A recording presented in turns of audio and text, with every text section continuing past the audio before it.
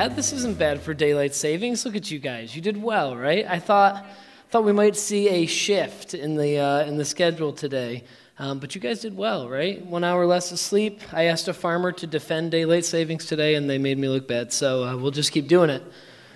We're in a series called Light the Dark. Uh, we're in this 10 week series of the Gospel of John. As we go through, we look at the words and the life and the actions of Jesus. Uh, and we are in the fourth week of that 10 week series. And we're up to John chapter 5. Now, last week we were in John chapter 3. This week we're in John chapter 5. So we did skip over John chapter 4, which is uh, a lot of that is the woman at the well, which is a great account. Now, if you're interested in that and you missed it, I did just talk about that in uh, Woven. It's a message called Uniquely Positioned. So if you're just longing for some John 4, you can go back to January 13th and watch that because today we're going to go to John 5 and we're going to talk about healing. I want to talk to you about the hope of healing. Now, healing is a very interesting thing. I was thinking about this this week. Friday was my eighth anniversary of my first day at Northgate, which to me sounds crazy because I still think I'm in the honeymoon period. Um, I'm starting to think you guys are really this nice. I'm going to let my guard down. But like somewhere in my mind, I'm thinking, well, it's just because I just got here. That's why they're still being so nice to my family and I. Um, but I've been here eight years. And so I was thinking back because when I first started, uh, there was a, a young boy who had a pretty serious illness. And I remember this because early on I was here and I felt God saying, I want you to pray for him to be healed. I was like, okay, God, that's a little out of my comfort zone, but you know, if we can do that. So I started to pray regularly, right? Pray every day for this kid to be healed. And if I thought of him through the day, I would pray for him to be healed and say, God, you know, please heal him of this. And eventually God said, no, no, no, that's not, that's not what I'm asking you to do, right? I think you know that, and this is not what I'm asking you to do. I'm asking you to pray for him to be healed. And so I want you to put hands on this boy and to pray. And I was like, oh, okay, God, I'm not sure about that. Like, if I do that, it's like maybe it's going to give his mom false hope of something, you know, and I don't know, and can't make any promises. So I went and got a prayer card that his mom had written, and I knelt down right there, and I put my hand on the prayer card, and I started to pray that God would heal this boy. And as soon as I was doing it, God was like, not that. Like, you know, that's not what I'm asking you to do. And it became like this constant thing for a while with God and I. Anytime I tried to pray or to read my Bible or to preach, like all God is saying is, I've given you this thing to do and you haven't done it. So finally, reluctantly, I contacted his mom. And I told her the whole story. I said, This is what's been happening. I don't know. I don't get it. I'm not sure. You know, I don't want to give you this false hope. I just know that God has told me very clearly I need to put my hands on his shoulders and pray that he will heal him. And so she came in the next Sunday early for church, and we met in my office. We talked for a little bit, and we t- you know talked to the boy and talked to his mom. And finally, I did that. I put my hands on his shoulders and I prayed as boldly and as powerfully in the name of Jesus as I know to pray. And he wasn't healed. He wasn't healed. And I was worried about that because the Bible says the prayer of a righteous person is powerful and effective. And that's part of the reason I didn't want to do it is I thought, well, what if I pray and it doesn't happen? Then what's the implication there? Well, that I'm not a righteous person, right? Because that's what it says. And healing is a tricky thing, it's a complicated thing. On the other hand, I remember going to visit a man uh, at my last church where I was a pastor. And he had this, this emergency situation. He was having some problems with his brain, some issues, some abnormalities. And they looked at the scans and they said, We got to get in there right away. And so I went to the hospital to visit him the night before had a great conversation with him, and I prayed, and I prayed that the doctors would be wise, and that the, the surgeon's hands would be steady, and that he would heal well, and God would give his wife peace, and all those things that we pray. I did never pray that God would heal him. That night, I was having dinner at Tully's in Batavia, and I got a phone call from this guy. And I walked outside to answer it so I could hear him, and he said, You're not going to believe this. He said, The doctor just came back in. He said, We looked at your scans from earlier, we looked at your scans from right now, and there's nothing wrong anymore. He's like, we made sure. We thought maybe we had the wrong scans. Like, we've double checked, we've triple checked. He said, Everything is fine. I don't need to have surgery tomorrow. I said, I'm, I'm packing up. I'm on my way home. My doctor said he's going to go golfing tomorrow. And I had never, of the things I prayed, I never prayed, God, would you heal him without this surgery, right? Can you just, we know, God, you could lay your hand on him and make him well now. I never prayed that. And because of those kind of situations and others like that, because at times we know somebody that we have prayed for God to heal, we've desperately asked, and we haven't seen it, that we don't always have hope for healing. We don't always boldly ask God to do what only He can do. Now, I've got to tell you, I'm always hesitant uh, when somebody says that we can bottle up the, God's power of healing and they can distribute it in any way they see fit. Right? Healing is a spiritual gift. We'll talk about that. It's listed there. Um, but I'm weary of anyone that will tell you, like, well, yes, I am a healer, right? And I can teach you how to become a healer. I'm always weary of those things. Now, this passage that we're going to look at today in John 5 is going to show us a time when Jesus chose to heal someone. And interestingly, he chose to heal someone that really didn't have faith at all. But that teaches us a lesson that the healing power of God is never primarily about us, it is always about Him. It always comes back to Him. So I can't, I won't, I would not stand up here today and preach a message to you that says anyone who has enough faith will be healed. I've been in those situations. I've heard those messages preached where it says, if you're sick and you're not getting better, it's because you don't have enough faith. And that is toxic and untrue. That would be so insulting to the people here who earnestly pray for God's healing power to show up in their life or in the life of somebody that they love. We have people who regularly, sometimes weekly, put in prayer cards praying for healing, and we join them. We say that every week, but we join them. We take that seriously. We pray for every single card multiple times during the week. And sometimes we see God do incredible things, and other times we don't. So in John 5 today, we're going to see Jesus, uh, this account of Jesus, and a man who was in need of healing. Now, this man, as a lot of people were that Jesus, uh, you know, met in the in the Gospels as he encountered, he was in need of both physical healing and spiritual healing, which is one of the great things about Jesus in the Gospels, right? He was your one stop shop for all your healing needs. Like you have physical needs, you have spiritual needs, you've come to the right place. The man that we see in Mark 2, his friends lower him down through a hole in the roof, right? Because he needs to be healed. He's paralyzed. And they lower him down, and Jesus sees this, and Jesus says to the man on the mat, Son, your sins are forgiven. And his friends, I think his friends are like, hey, man, that's cool uh, and everything, and thank, thank you for that. Uh, we actually brought him because he's paralyzed, and we thought you would heal him and he could walk out of here. But I can, only, I can only go on today and talk about this and dive into this once we have two things firmly in our minds. First, that anyone who isn't being healed is not because they don't have enough faith.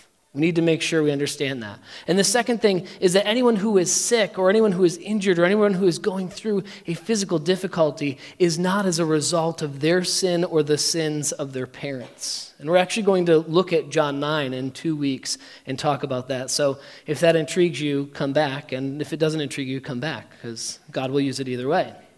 But today, though, we're going to talk about those two kinds of healing, right? We're going to examine both kinds of healing healing from physical illnesses, sicknesses, things like that, and also spiritual healing from the sins that will take over our life and that will hold us down. So, we good with that before we go on? Oh, you guys seem great. All right, cool. Well, this, that's all I got. So, whether you're good with it or not, we're going to keep going. Let's unpack this. Let's see how we can apply it in our lives today. And we'll start with the main point is that Jesus is our source of hope and healing. Jesus is our source. It all is going to start and end with Jesus. And that's why we do a gospel series every year because it's all about Jesus and it's about what Jesus does in our lives. So look at John 5, starting at verse 1. Here's what it says Sometime later, Jesus went up to Jerusalem for one of the Jewish festivals. Now there in Jerusalem, near the now there is in Jerusalem near the sheep gate a pool, which in Aramaic is called Bethesda, and which is surrounded by five covered colonnades. Here a great number of disabled people used to lie: the blind, the lame, and the paralyzed. So take a minute. Let's just get this picture in your mind, right, of this pool of water, and don't don't picture your friend's backyard pool with like a slide and a swimming pool it's, or a, a diving board. It's not like that. It's much more like a pond with these covered pillars around it. And this has become the place uh, for all the people who are disabled. It says the people that are blind, the people that couldn't walk, people that couldn't move at all. This has become the place for them to congregate. And so when you think about it in some ways, like this might be a, be a difficult place to be, right? There's a lot of needs here. There's a lot of needs going on as these people all gather there. And most of them, they probably couldn't have gotten there themselves, right? This guy that we're going to hear about, who's been a paralytic for 38 years, he was probably left there by someone that loved him, right? They didn't have anything better to do with him. They didn't know what else to do, and so they brought him there. And why, why would people be gathered there? Why would family members or loved ones bring these people and leave them at this pool? Well, the answer simply is hope. Look at the next verse, John 5 4. We find out that from time to time an angel of the Lord would come down and stir up the waters. The first one into the pool after each such disturbance would be cured of whatever disease they had. So they were here at this pool because of this faint hope that they might be cured of whatever disease they had, whatever it was that brought them to this place. Now, there's a few things to look at in this verse. John tells us that an angel of the Lord would come down and stir up the waters. And so, because of that, I don't think we can just completely dismiss this as merely a hopeful legend, right? There's part of me, the skeptical part of me wants to be like, wow, that's crazy, right? But God can do it. So, maybe this hope of healing was real. Maybe it really was an angel of the Lord that stirred the waters.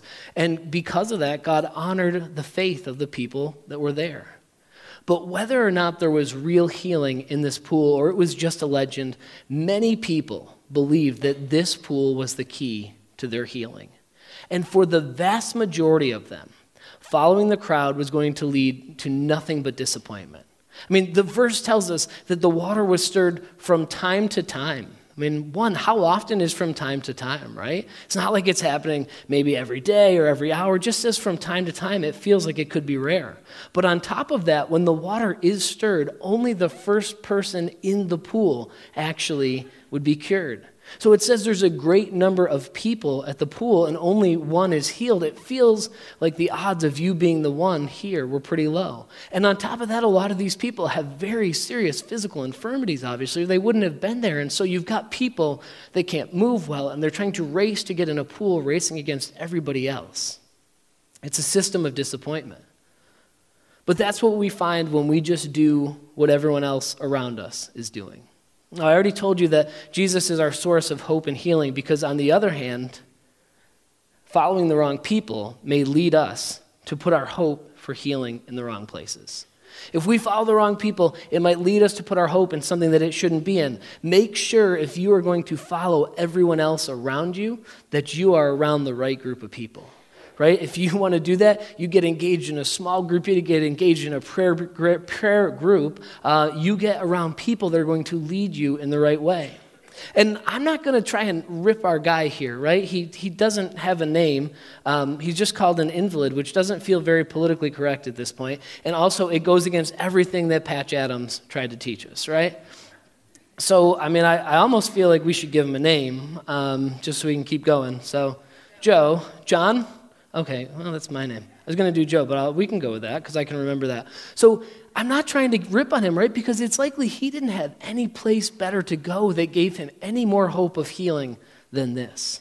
But as this interaction progresses, we're going to see clearly that he is putting his hope in the wrong places. So look at John 5 5 and 6. The next verses tell us one who was there had been an invalid, that's John, for 38 years. Well, see, but the book is John, so that's confusing. We're going with Joe. When Jesus saw Joe lying there and learned that he had been in this condition for a long time, he asked him, Do you want to get well? Now, first, there's a great number of people here. We've already heard that. And Jesus spots this one guy in the crowd. It doesn't say he had interactions with anyone else, it doesn't say he healed anyone else. That's not in the text. No, presumably, he just locks in on this one guy, this guy who is particularly hopeless. And he finds out his story.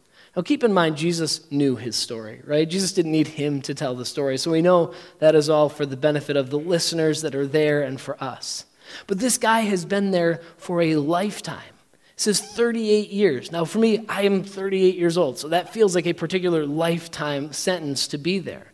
And something about him and his story really seems to resonate with Jesus. And I want you to know that Jesus sees our pain and our brokenness. Jesus sees our pain and our brokenness. If you are struggling this morning, if you are struggling with sickness, if you're struggling with pain, if you're struggling with something else that you would like to be healed from and you have not been healed, please know that Jesus sees you. The Bible tells us that God is close to the brokenhearted, just as Jesus was close in proximity to Joe this day. You might feel like no one else in the world knows how you are feeling. No one else knows how you're struggling. No one else knows the pain and the brokenness of your situation. Certainly, that is how this man felt that day. But I want you to know that Jesus sees you and that he promises to be with you whether you are healed or not. And once he sees this man, Jesus asks him a question that I think is really, really interesting, maybe the most interesting part of this passage. He says, Do you want to get well? And on the surface, I think we read that and we think, what kind of question is that, Jesus? You've got a guy that's been in this hopeless situation. He has no way out of it, and you're asking him, Do you want to be well? Who on earth would not want to get well? But I think wanting to be well is a critical step in our healing. Wanting to be well is a critical step in our healing. At a doctor's appointment this week. I only go to doctor's appointments when they're like new doctor. Like I get a new doctor and I have to go in and meet them. I'm like, other than that, I would stay out of the system.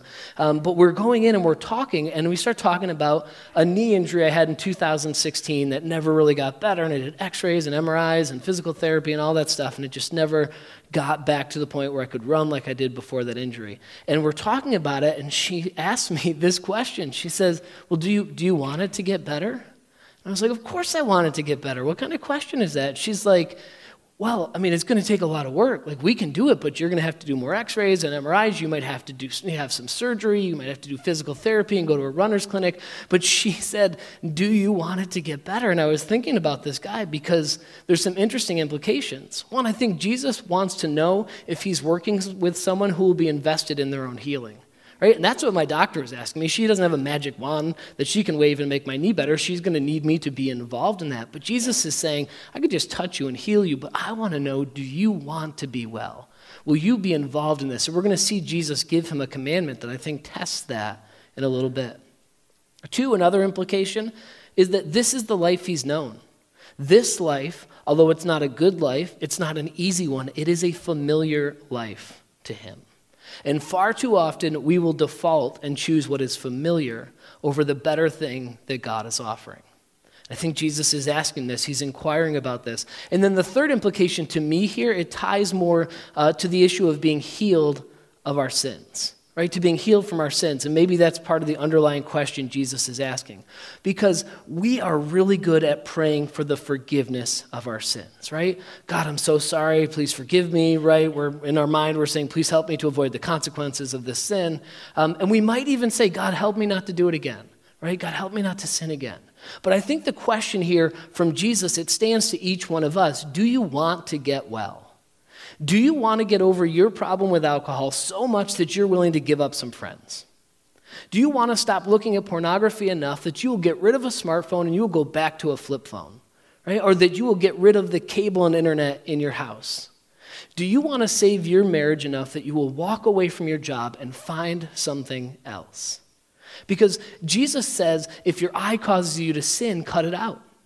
Or if your hand causes you to sin, cut it off. And while that is not meant literally, I think if we don't take it literally enough to say, if something in front of your eyes causes you to sin, get rid of it. If something in your hand causes you to sin, get rid of it. If we don't take it that literally, I think we're not taking the gospel seriously enough. I think when we find ourselves stuck in the consequences of our sinful choices and we turn to Jesus, time and time again, he asks us the same question Do you want to get well? I visited people in jail that were there because of their addictions. And I've sat with people who were ticked about getting arrested and facing the tough consequences of their choices. And then I've sat with people who were absolutely done with that lifestyle and who knew when they were getting out that they were going to do whatever it took to get and stay sober. People that would go to five, six, seven meetings a day so that they could stay clean.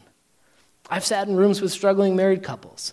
I've seen couples that are sick and tired of fighting and not being happy, but at the same time, largely unwilling to change anything about themselves to make it better.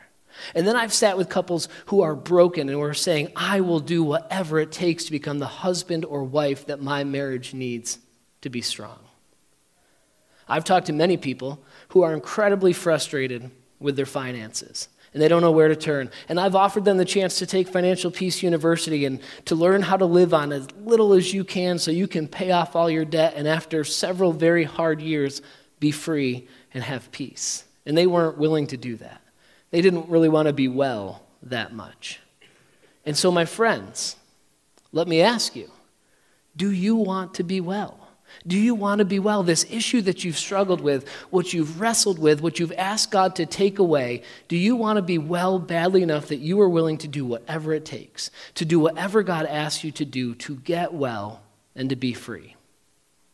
And some of you might not be. You're not there yet. And if you don't, if you aren't willing to do that, probably much like Joe here in the story, you probably have some excuses. Because he seems to take this question from Jesus as a bit of an insult, which I get. Jesus is asking him if he really wants to get well, and that leads him to give the excuses of why that hasn't happened yet. Look at verse 7. This is his response to, Do you want to get well? He said, Sir, Joe replied, I have no one to help me into the pool when the water is stirred. While I'm trying to get in, someone else goes down ahead of me. And he says, You know, man, it's not that I don't want to get well, it's just that I have no real chance of getting well in this situation that I find myself in. Says, Other people, they have it better than me, right? They have someone to help them in the water, they have a better support system. Other people, they're faster, right? They're not as sick as I am. They don't have the problems that I have. Their injuries, their illnesses aren't as serious. And he put all of his hope in this one particular kind of healing that this was it. It was going to be this or nothing. And that left him feeling absolutely hopeless. Because when we put our hope in something other than Jesus, healing feels distant.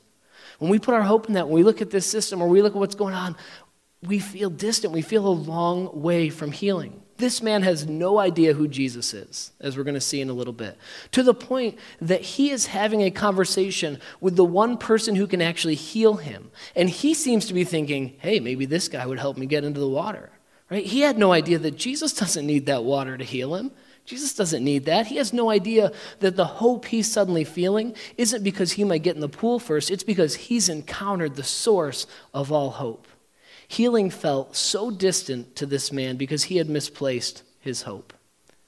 And so Jesus, he surprises our guy, and he surprises anyone that's listening by giving him a command. Jesus gives him a command that on the surface was impossible for him to carry out until he actually tried it. Look at verses 8 and the first half of 9. Jesus said to him, Get up, pick up your mat, and walk. And at once this man was cured. He picked up his mat and walked. Jesus speaks. This man obeys. And suddenly, the paralysis that has defined his life for 38 years is a part of his past. Because when Jesus speaks and we obey, things change.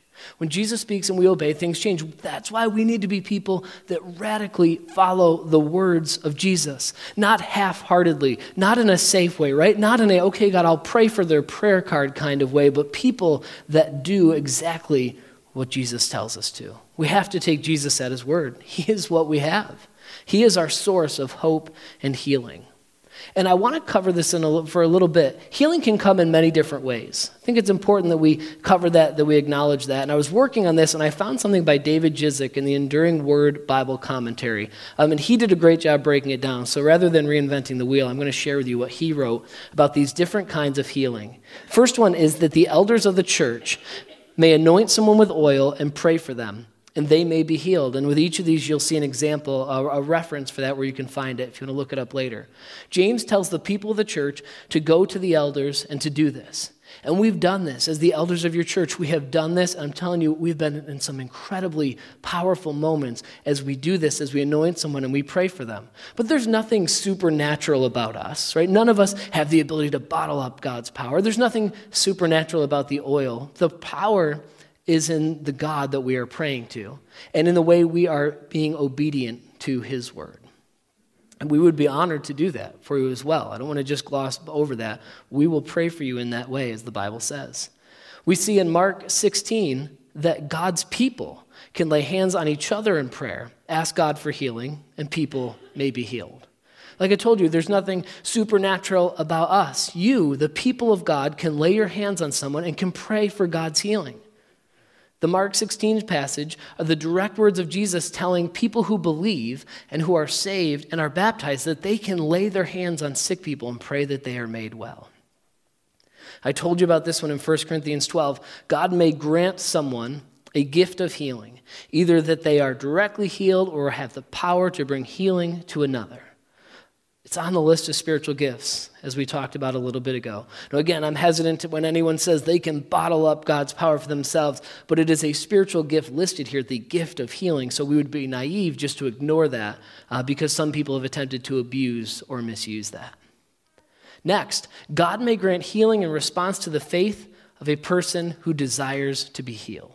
God may grant healing because of someone's faith. There are people like the woman who reached out and grabbed the edge of Jesus' coat because she knew if she could just touch that, that the power of Jesus would heal her.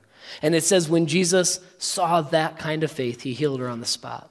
And this is real and it's true, and we can find it in the Bible, but it can also lead to that harmful false perception that we talked about earlier that if we just have enough faith, God definitely will heal us. Because I hope you've noticed with all of these, every one of these things, every one of these descriptions of healing has the word may in there. He may heal us. He may, and he may not. Two more ways. God may grant healing in response to the faith of another on behalf of the person who is healed. Now this one, this one messes with me a bit, right? God may heal someone because of our faith. He could heal someone else because of our faith, and we see biblical examples of this as well. Again, we see the friends that lowered the, their friend in through the roof, right? And it says, when Jesus saw their faith, he was healed. And he was healed of his sins and his paralysis, right? When Jesus saw their faith. In Matthew 8, Jesus is amazed at the faith of the centurion. The centurion comes to tell Jesus about his servant who is sick, who's paralyzed and suffering terribly at home. And Jesus rewards the centurion's faith by healing this other person. And then the last one, and this is important that it's on the list God may heal through medical treatment. You see some evidences of that. This has to be there because these other forms of healing being possible does not mean that we should just ignore everything other than God in search of healing. Right? Because God can heal miraculously doesn't mean we just sit at home with our hands folded praying and say, okay, God, do what you can do. Because God can do a lot, and a lot of times He will heal through medical treatment. When my youngest daughter, Emerson, she was two and she was bit in the face by a dog, and we immediately began praying, and we got all of our friends praying that God would heal her. And God did heal her. God healed her through an amazing facial trauma team, right? And through a great plastic surgeon who did incredible work that night in repairing her face. And God heals her, and God gets the glory, but it happened through medical treatment. I believe that God may heal you in any of these ways, through any of these ways, but that doesn't mean that I'll stand up here and tell you to ignore what your doctor says and just wait for Jesus to supernaturally do what only He can do. If your doctor diagnoses you with cancer, you should take every step of chemo and radiation and do everything on the treatment plan that is laid out for you. And at the same time, you should pray. And you should get everyone in this church and everyone that knows you and loves you to pray that God heals you. You should do both. And at the exact same time, the same thing is true for depression and anxiety and for any other form of mental illness, not just physical illnesses. Please don't draw a line here where there shouldn't be a line. Because for some reason, a lot of times Christians are all for medical treatment and medication except when we get to something like anxiety or depression. And then they pull out this big box of faith and they tell the person that's struggling, well, you just got to have more faith and you'll be all right. We'll say, like, oh, you're depressed. You need the joy of the Lord. You got to stop doing that. Please stop doing that. The last thing that someone who is struggling with depression or anxiety needs is for you to heap some Christian guilt on top and say, well, this is just because you're not a good enough Christian. If you get that figured out, everything will be fine. If you're struggling with a mental illness, if you're struggling with depression or anxiety, you should go to your doctor and address that. And you should take all the steps that are put into your treatment plan. And at the same time, you should pray for healing. And you should get your church and the people that love you to pray that God heals you. So we have to wrap this account up. Let's go to verses, uh, the second half of 9 and 10 because we got a little the Pharisees are going to come rain on this guy's parade here. It says, The day on which this took place was a Sabbath. And so the Jewish leaders said to the man who had been healed, It is the Sabbath. The law forbids you to carry your mat. Our friends, the Pharisees. This guy's walking for the first time in 38 years, and they see him. They're like, Hey, buddy, it's Saturday, all right? It's Saturday, man. And I love his response. Like, this is a great response. Here's what he replies well, the man who uh, made me well said to me, Pick up your mat and walk. So they asked him, Who is this fellow who told you to pick it up and walk? The man who was healed had no idea who it was, for Jesus had slipped away into the crowd that was there. I love this. He's like, Yeah, okay, cool, it's Saturday. But you see, uh, I'd been paralyzed for 38 years, and then this guy healed me, and he told me to pick up my mat and walk. So I was just doing what that guy told me to do because it worked. And so I'm going to do what that guy says because it kind of seems like he knew what he was talking about. But the guy, he still doesn't even know that it was Jesus who healed him until later. They run back into each other at the temple in verses 14 and 15. Later, Jesus found him at the temple and said to him, See, you are well again. Stop sinning, or something worse may happen to you. The man went away and told the Jewish leaders that it was Jesus who had made him well. Now, I'm going to be really honest with you. I wish that this wasn't in here, right? I really thought about cutting it off before this verse because even though I tell you to read this stuff, most of you guys probably weren't going to go read it, but I didn't want you to go and read it and then find this verse or read it now and be like, what a wimp, he backed out of that verse. But I wish it wasn't here because it's, it's kind of confusing, and I think it can lend to the idea, if we take it the wrong way, that our physical infirmities are just punishment for our sins. But that's not what Jesus is telling him. And I don't think it's nearly as threatening as it, as it sounds when we read it. Jesus is telling him, hey, man, you can walk. That's great. That's awesome. But your greatest need wasn't to be healed of your paralysis. Your greatest need was to be healed of the sin in your life. Because what we know for sure is that Jesus may or may not grant us physical healing on earth, but he offers each one of us spiritual healing and wholeness. And that is our greatest need. Make no doubt about it. Will you receive physical healing on earth? Possibly, and possibly not. Some people will not be physically healed until they receive their new, healthy, heavenly body that they'll spend eternity in. So if you are a Christ follower in that way, I can guarantee that at some point you will be healed, right? God always heals our physical problems, sometimes here on earth and sometimes in heaven. But even more than that, even more importantly than that, he offers each one of us spiritual healing and wholeness. He offers us freedom from the sins that have made us slaves. He healed that man that day, but he offered him the freedom of his sins, and that matters even more. So, the end of the chapter, or the end of what we're going to look at in the chapter today, in verses 16 to 18, here's what it tells us. So, because Jesus was doing these things on the Sabbath, the Jewish leaders began to persecute him. In his defense, Jesus said to them, My Father is always at work to this very day, and I too am working. For this reason, they tried all the more to kill him. Not only was he breaking the Sabbath, but he was even calling God his own Father, making self equal with God. So Jesus, he gets into hot water for healing this man, right? He puts his own life on the line for doing it. Because people may be skeptical of your healing or its source, but don't let that undermine what you know. Right? People, when you are healed, they might be skeptical. They might not believe you. They might, you tell them the story, right? Rosalina told us the story of God healing a broken arm this morning. And some people might say, well, okay, you think that, but this is what really happened. I felt like I had been healed from my addiction to alcohol in a moment. I could share with you where I was. I could share with you the conversation, the particular breakthrough in Scripture that God gave me. But it was something that I'd been struggling with at that point for the majority of my life. So I think when I talked about it, even Amy was skeptical to say, like, yeah, okay, but let's see, right? Because people are skeptical about that, but I knew. I knew. I knew that something was different, and I knew that I had been healed of that. And all these years later, I think other people may have started to believe, even if they were skeptical. Because what we find out is that Jesus is our source of hope and He is our source of healing. Let's pray. Father God, for the people here, Lord, that are in need of physical healing, Lord, I pray that you would give them continual hope. Lord, we know, even in saying that, Lord, that everyone will not be healed. Lord, we know that you could. God, you could put your hand on this church and heal every single one of us of the pains and the sickness and the affliction that we have today. And God, if you want to do that, Lord, we will give you all the, the glory and honor. But God, if you don't, Lord, we pray that we will continue to find our hope in you. Lord, that we will draw close to you, that we will seek you, Lord, that we will do what you say. And God, I pray that even though we may not see physical healing, God, that we will draw to you for our spiritual healing. God, that you will set us free from the sins that will take over our lives if we let them. God, that you offer us the opportunity to be well, to get well and to stay well, and to be righteous in your sight because of your Son. So, God, help us to walk closely with Jesus, Lord. Help us to seek him, Lord, and to find him and his faithfulness. We pray this in Jesus' name. Amen.